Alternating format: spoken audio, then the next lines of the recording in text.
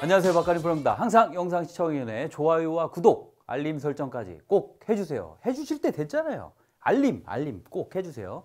어, 대박 레슨 또 나가니까. 음.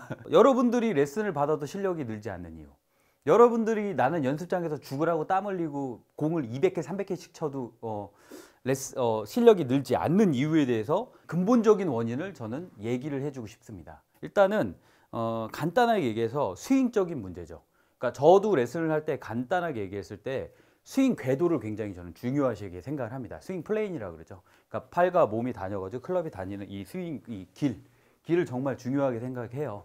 그래서 어 제가 예전에도 뭐 이렇게 돼서 팔, 팔 같은 경우는 이렇게 백스윙 했을 때 팔꿈치가 아래에 있어야 되고 벌어지지 않고 왜? 간단하게 설명드릴게요. 자, 이렇게 돼 있으면 자, 어떻게 펴질까요? 이렇게 펴져요. 이렇게. 그렇기 때문에 이렇게 나간다. 그러니까 팔꿈치가 아래로 있어야 아래로 떨어지고 몸은 어깨는 좌우로 회전이 되고 이 상태에서 그냥 자, 어, 가면은 궤도는 그냥 무조건 맞는다.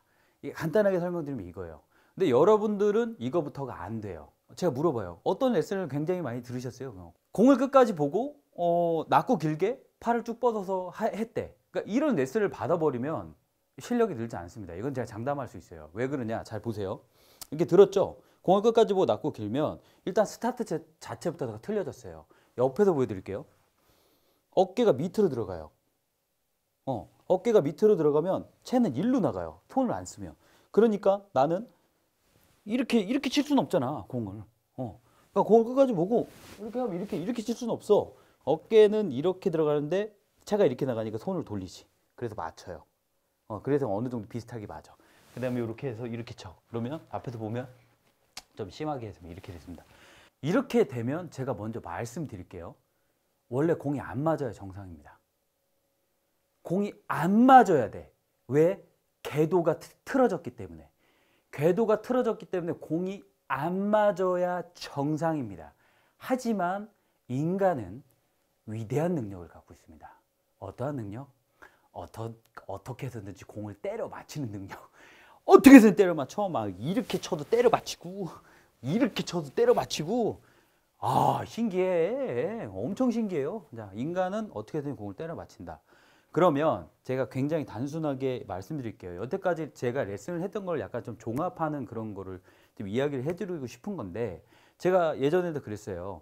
궤도가 맞으면 아무것도 안 하고 자유낙하를 시키면 공은 그냥 무조건 맞는 거다 왜 이렇게 놓고 팔이 이렇게 되지 않고 이렇게 놓으면 그냥 떨어지면 그냥 공 안 봐도 그냥 공 맞는 거거든 근데 자 보세요 공을 보지 않고 아까처럼 이런 식으로 만약에 제가 좀 과도했어요. 과도했어요. 공 안 보고 그냥 떨어지면 공이 안 맞아야 돼요. 아무것도 안 하면. 근데 우리가 눈으로 보는 순간 어떻게 되냐면 어떻게든 때려 맞춥니다. 요거를 우리는 전문 용어로 보상 동작이라고 하지. 어, 보상 동작이라고 해요. 그러면 이게 뭐가 문제인데 라고 나한테 얘기했어요. 엄청나게 문제죠. 왜 그러냐면 잘 보세요. 저는 이 오늘의 핵심 포인트가 이거예요. 어떤 거냐? 이런 얘기를 많이 했어요. 궤도가 안 좋은 사람들의 특징은 임팩트 때 힘을 주지 않으면 공을 못 맞춥니다. 왜? 좀 전에도 제가 얘기했죠. 원래 궤도가 안 맞기 때문에 공이 안 맞아야 정상이에요. 근데 어떻게든 때려 맞힌다 그랬죠. 그러면 내가 안 맞는 길로 가고 있는데 공을 맞춰야 되잖아. 내가 인위적으로 손에 힘을 빡 주겠지. 빡. 어, 힘을 빡 줘가지고 당겨가지고 빡 때린단 말이야. 그러면 어깨전이나 팔의 궤도가 안 맞는 사람들은요. 뭐 이러잖아요. 뭐 골프 힘 빼는데 3년 뭐 이렇게. 제가 장담하는데 평생 못 뺍니다. 네. 왜? 그리고 힘을 빼면 오히려 더 안 맞아요. 어, 왜? 내가 이렇게 해서 공이 안 맞는 궤도로 가는데 내가 힘을 줘서 당겨갖고 와서 쳐야지만 공이 맞는데 그걸 힘을 빼면 어떻게 맞겠어요. 안 맞아요. 그런데 대부분 막 이거부터 막 이렇게 돼 있는데 야 힘 빼, 막 힘 빼, 막 이렇게 하는데 형 어떻게 빼? 힘 빼면은 공 더 안 맞는데. 그러니까 안 되는 거예요. 여러분들은 멀리 똑바로 치고 싶잖아요. 멀리 똑바로. 멀리 똑바로 치고 싶으면 자 보세요. 얘가 우리 이제 자동차 충돌 테스트 이런 거 하잖아요. 그랬을 때 질량은 뭐예요? 이 클럽이에요. 클럽. 드라이버가 됐던 아이언이 됐던 이게 변할까요? 얘는 절대 변하지 않습니다. 질량은. 이 질량이라는 거는 변할 수가 없어요. 그러면은 멀리 치기 위해서 멀리 똑바로 치기 위해서는 뭐가 중요할까요? 스피드가 필요하지. 속도. 얘를 속도를 내야지. 근데 여러분들은 어떻게 치냐면 자 보세요. 속도라는 거는 잘 보세요. 이게 빠를까요? 원래 딱 가다가 안 맞는데 내가 여기 딱 잡는 게 빠를까요? 잡으면은 브레이크를 거는 거랑 똑같이. 그 속도가 안 나지. 근데 이제 되게 중요한 게 여기서 또 한 가지 더, 더 중요한 사실이에요. 그러니까 여기까지 알았어. 막 레슨을 통하고 막 해서 어떻게 해야 되는지 알았어. 손 빼고 보세요. 힘 빼고 뚝 쳤는데 되게 잘 맞았어. 근데 이렇게 치면 몸이 엄청 편해요. 그리고 내가 아무것도 안 한 느낌이 나. 굉장히 공허하고 굉장히 허해. 그랬을 때 사람은 어떤 느낌을 받냐면 또 찝찝해. 음, 왜 그런지 알려드릴까요? 좀 전에 그랬죠. 내가 어떠한 것을 행해서 그것을 내가 뭔가를 성취를 했을 때는 뭔가가 어, 뭔가 성취욕이 굉장히 좋아.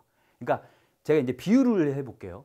내가 열심히 일을 했어. 알바를 하던 일을 했어. 그래서 일을 해가지고 딱 돈을 딱 그 월급을 받거나 아니면 딱 아르바이트 비를 딱 받았어. 되게 좋죠. 성, 성취욕이 있잖아. 내가 일을 해가지고. 근데 그래서 막 내 성취욕도 있고 너무 좋아. 근데 길 가다가 5만 원짜리가 하나 있는데 어이씨, 아무도 없어. 이렇게 딱 주웠어. 기분은 좋아. 아, 근데 뭔가 찝찝하지. 아, 이게 써도 되나? 약간, 요런, 요런 심리인 거예요. 근데 중요한 건 골프는 절대로 허해야 돼요. 내가 뭔가를 하면 안 돼요. 어, 제가 예전에도 얘기했잖아요.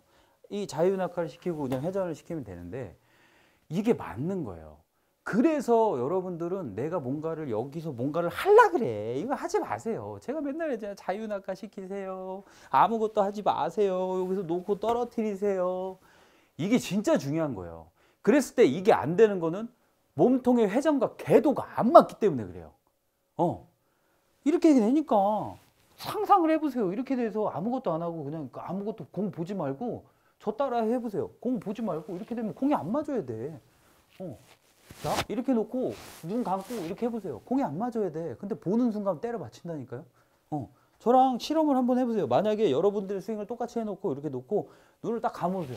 이렇게 쳐보세요. 공이 안 맞아. 근데 보는 순간 어떻게든 때려 맞춰요. 이거 진짜 신기한 능력을 가졌습니다. 인간은. 그랬을 때 안 맞는 궤도를 내가 순간적으로 땡겨오기 때문에 힘이 들어가지. 그러면 뭐부터 해야 되냐? 길을 만들어야지.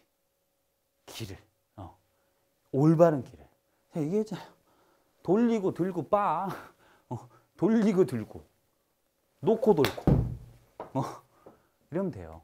근데 이제 이렇게 하다 보면 처음에는 공이 안 맞을 수도 있어요. 왜냐하면 나는 임팩트 때 잡는 습관이 있기 때문에 잡는 습관이 있거든.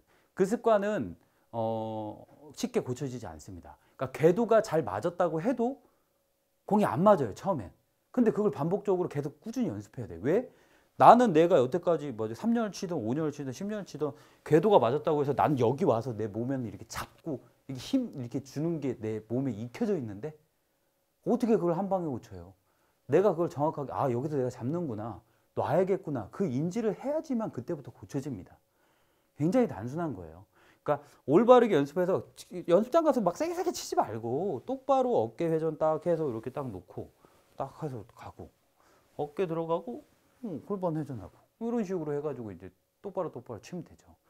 굉장히 단순하죠. 단순하지만 굉장히 어렵고 복잡해요. 그러니까 그래서 골프가 어려운 거예요. 그리고 습관이 한번 들여버리면 엄청나게 어렵습니다. 근데 그 상태에서 내가 막 잡아 당기고 막 하다 보면 공이 안 맞는 거예요. 그래서 아까도 얘기했지만 아무것도 안 하면 굉장히 허해요. 그 몸이 되게 편해. 근데 그게 찝찝해. 아 이렇게 쳐도 되나? 어, 근데 그게 맞아요. 어, 그게 맞기 때문에 그렇게 치시면 엄청나게 좋아지는 효과가 있을 거니까 이거는 한번 꼭 처음부터 한번 다시 내 골프를 한번 처음부터 다시 한번 되짚어보는 계기가 됐으면 좋겠습니다. 모르시는 거 있으면 세종시로 오시고요. 이상 박한익프였습니다.